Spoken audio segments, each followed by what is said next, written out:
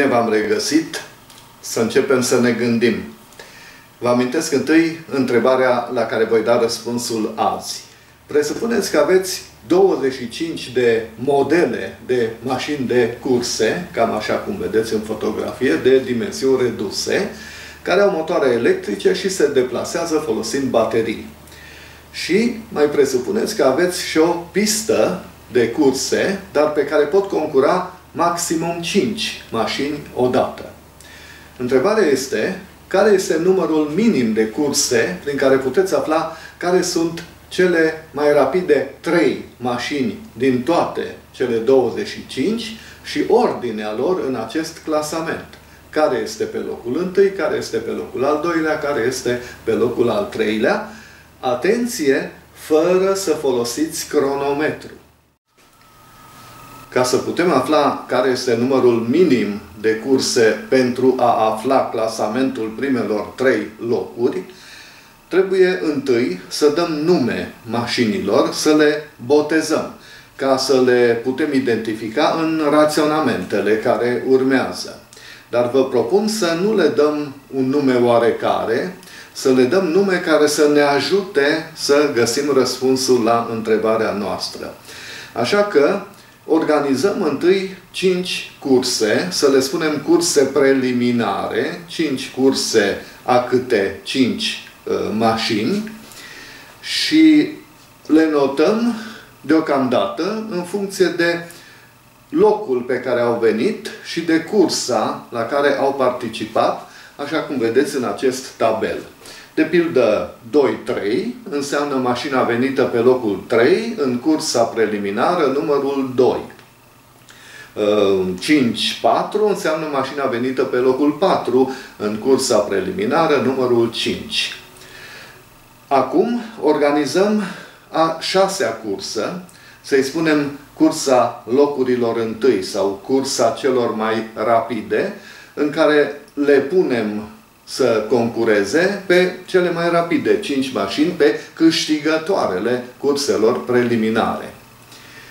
Și renotăm cele 5 curse preliminare în funcție de locul ocupat de cele 5 mașini care au concurat în cursa a 6 în cursa celor mai rapide.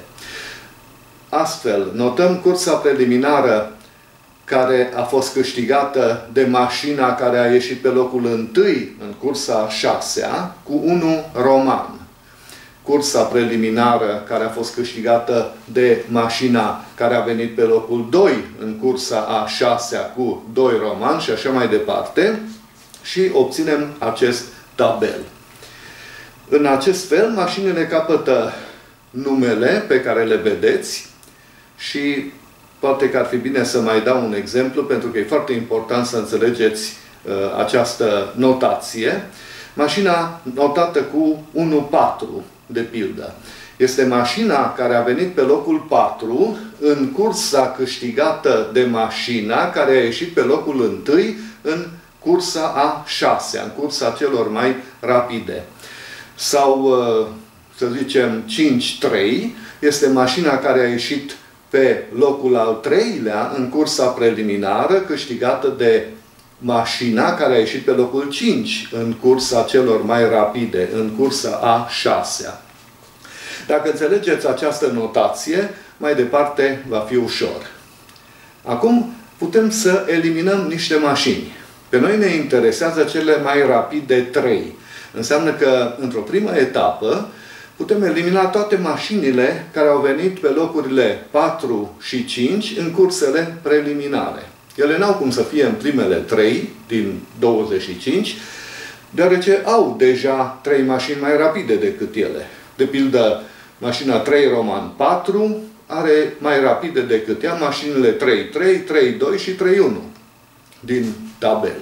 Și așa mai departe să eliminăm deci toate mașinile de pe locurile 4 și 5 din cursele preliminare și ajungem la acest tabel. Ca să înțelegeți raționamentele mai departe, sunt foarte importante trei observații.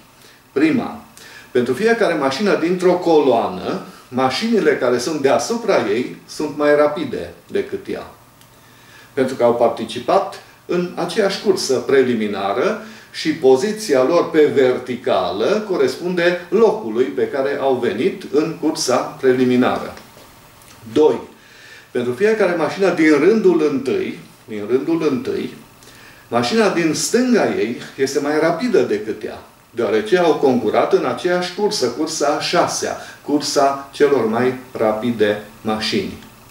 Și trei, pentru mașinile din alte rânduri decât rândul întâi, nu se știe dacă mașinile din stânga lor sunt mai rapide sau nu decât ele, pentru că n-au concurat în aceeași cursă.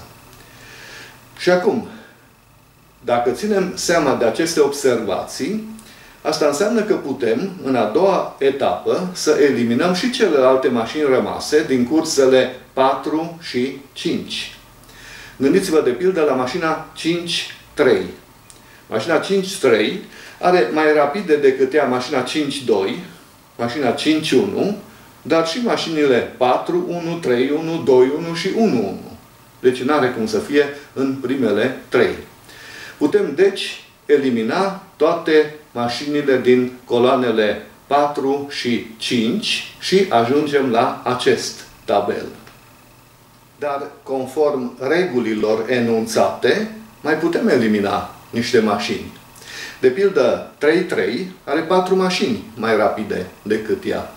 3-2, 3-1, 2-1 și 1-1. 2, 3 și 3, 2 au câte 3 mașini mai rapide decât fiecare. 3, 2 are mai rapide decât ea mașinile 3, 1, 2, 1 și 1, 1, iar 2, 3 are mașinile 2, 2, 2, 1 și 1, 1 mai rapide decât ea. Așa că putem elimina și aceste 3 mașini și ajungem la acest tabel. Au mai rămas în competiție 6 mașini. 6. Dar 1-1 este cea mai rapidă mașină dintre toate. Știm asta, nu mai trebuie să punem să concureze. Așa că au rămas 5 mașini în cursă pentru a fi în primele trei locuri, perfect, pentru că le putem pune să concureze în a șaptea și ultima cursă.